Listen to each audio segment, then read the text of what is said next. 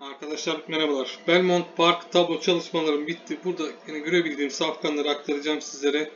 Çıkan atlar yok, pist değişikliği yok. Dün hem çıkan at hem pist değişikliği vardı. Ee, yani çok da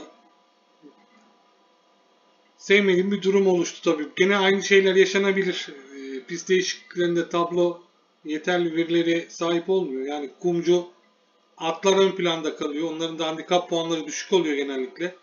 O yüzden gene de dikkat edin derim. Ben e, tablomu sizlerle paylaşayım. Gerekeni sizler yapacaksınız. Maiden birinci koşusu Altınoğlu Safkan 4 yaşının avantajı ara vermiş durumda. Etkilenmezse kazanır da grubun en kaliteli atı. 5 ikincilikleri var 3 yaşının. 3 yaşında ikinciliklerden sonra burada formda Safkan rakip olur. 3, 9, 7, 8 sırasıyla önereceğim Safkanlar. Luis saat 8'de 4'te de Fırat Ortiz var. Bunlar zayıf atlara biniyorlar ama yine de sağ, sağ solu belli olmuyor bunların. İkinci koşu şartlı mücadele. 4 ve 1 nolu safkanlar arasında gördüğüm bir yarış. 4 kalite handikap puanı yüksek veren koşarsa biri geçebilecek kapasiteye sahip olan safkan eksik koşarsa bir bu grubu geçmesi gerekir. Diğer atlar artık arkadaşlar. Bunların ikisinin dışına çıkmasını beklemiyorum ama diğer atların yazımını size bırakıyorum. Üçüncü koşu şartlı mücadele kum 1300 7 nolu safkan son ikinciliği kazancı yüksek olması favori çıkartıyor bende favori 5 yaşında avantajı var tabi bu hatta. 9 3 yaşına rağmen kalite handikap puanıyla Fırat Ortiz'le rakip olur. 2, 3, 4 bu atlardan da sürpriz gelebilir. Görebildiğim gruptaki ayrılan atlar bunlar. Dördüncü koşu satış şartlı. İki nolu Safkan burada kalite handikap puanıyla 4 yaşının avantajıyla ben de favori çıkar. 2 nolu Safkan favori kazanmaya yakın Safkan gördüm. 4 koşar ise grubun en kaliteli atı.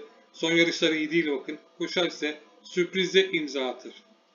Üçlükler birbirine çok yakınlar. Irat Ortizli 1, 7 ve 5 sırasıyla önereceğim safkanlar. Beşinci koşu satış koşusu 1600 çim. Bu koşu değişebilir. Dün değişmişti. Onun o bölgenin yağmuru eksik olmuyor. Pistlerde sık sık değişiyor Belmont. O yüzden pek de sevmiyorum açıkçası. Kalite handikap puanlarından gittim. 10 nolu Safkan Luis Sazle kazanabilir. Form durumu iyi. En azından onu, onu görebildim. Grubunda kalite handikap puanıyla iyi yerinde duruyor. 8-4 sürprize imza atacak safkanlar. 6 bunlardan bir tanesi 6 yaşının avantajıyla grupta en kalite safkan olarak karşıma çıktı. 7 ekürlerden 1 Irat Ortiz'de geçilmemiş. E, diğer önereceğim safkanlar oldular.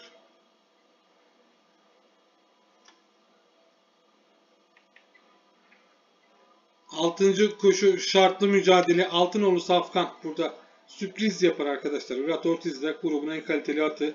Koşuları iyi değil. Bu gruba düşmüş Safkan'dır.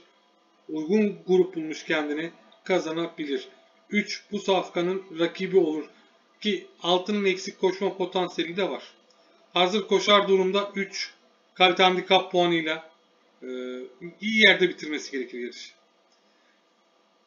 9 yaşına rağmen formu iyi olan kazancı en yüksek safkan 8 ve gene kalite handikap puanı yüksek veren 5 sürprize imza atarlar.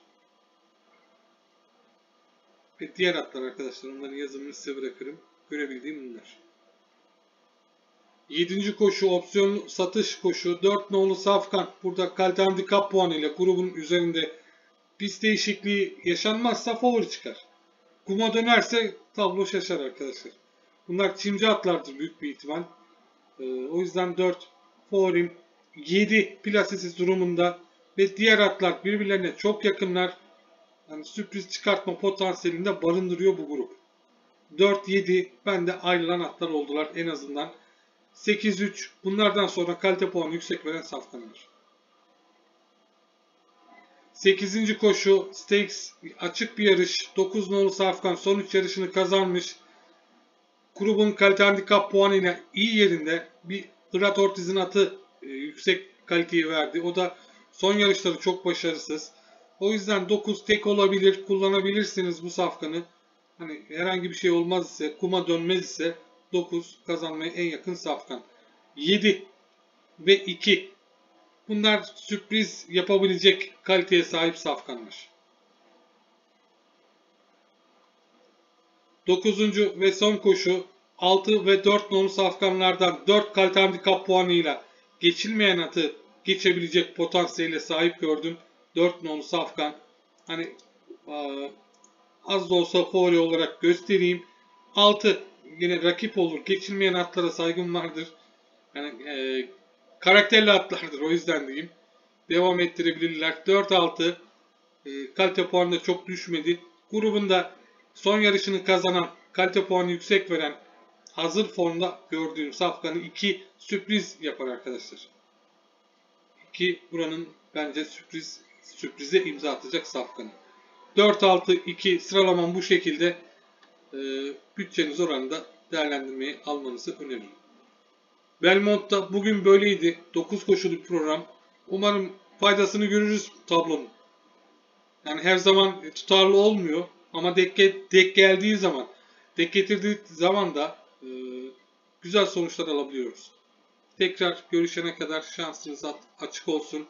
Hoşçakalın.